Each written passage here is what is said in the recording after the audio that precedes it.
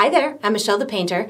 Today you're going to be watching a time-lapse version of my painting, White Tiger. And if you enjoy this painting and you'd like to watch the full-length version of the tutorial, you can find that on my Patreon page. The link for that is down below. I have these exclusive paintings that I do just for Patreons, and it's one of the many benefits that you can get as being a Patreon for on my page. The other things that we do throughout the month, we have uh, monthly painting contests, we have monthly skill challenges, we have live Zoom classes with me, and there's also educational, painting educational series that helps to increase your, your painting skills. And we have these, of course, these exclusive painting tutorials.